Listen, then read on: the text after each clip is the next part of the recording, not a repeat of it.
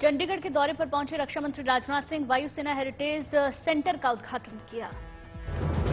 कार्यक्रम में वायुसेना के अधिकारियों ने समा बांधा, बजाई खास धुन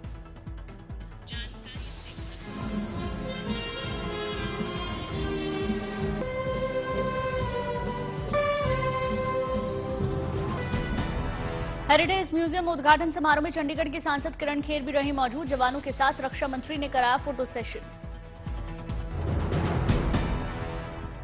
दिल्ली में वित्त मंत्री निर्मला सीतारमण की अहम बैठक वित्तीय स्थिरता को लेकर मंथन हुआ। दिल्ली में प्रदूषण के खिलाफ मेगा तैयारी आज से शुरू हुआ summer action plan. Summer action plan के तहत खिलेगी हरियाली, बावन लाख पौधे लगाने की तैयारी है। कर्नाटक चुनाव के लिए असम जाएगा। हाई वोल्टेज प्रचार अभियान बेंगलुरु में बस में सफ़र करते नज़र आए राहुल गांधी। कर्नाटक के विजयनगर में प्रियंका का रोड शो, बड़ी संख्या में जुटे समर्थक। जंतर मंतर पर प्रदर्शन कर रहे पहलवानों का बढ़ता जा रहा है समर्थन। बड़ी संख्या में किसान भी पहुँचे।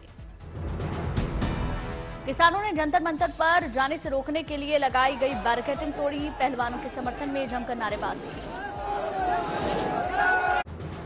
मदुरई में चित्रई महोत्सव में निकाली गई भव्य शोभा यात्रा मंदिर में उमड़ा आस्था का सैलाब।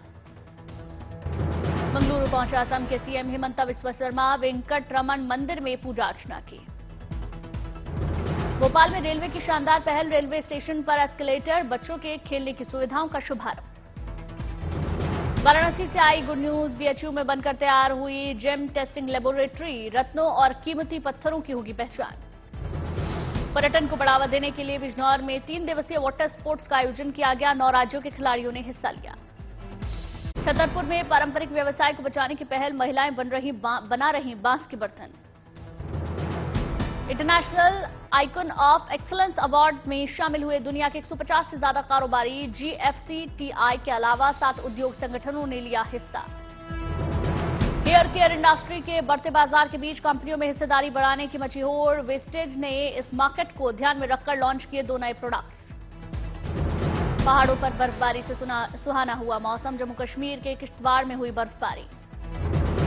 आसमान से गिरते सफ़ेद फाहों ने बढ़ाई घाटी की खूबसूरती। कुलगांव में बर्फबारी के बाद दिखा दिलकश नज़ारा। हिमाचल के कुल्लू में भी छाई सफ़ेद बर्फ़ की चादर सड़कों से लेकर पहाड़ों तक दिखी बर्फ़।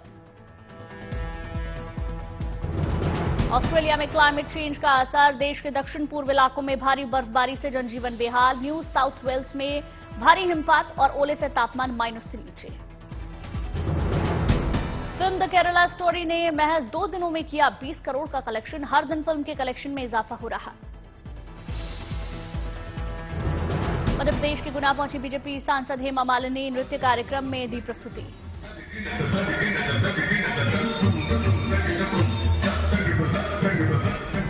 मुंबई में red carpet of global excellence award समारोह का आयोजन। समारोह में धक धक गर्ल माधुरी दीक्षित ने अपनी अदा से जादू बिखेरा।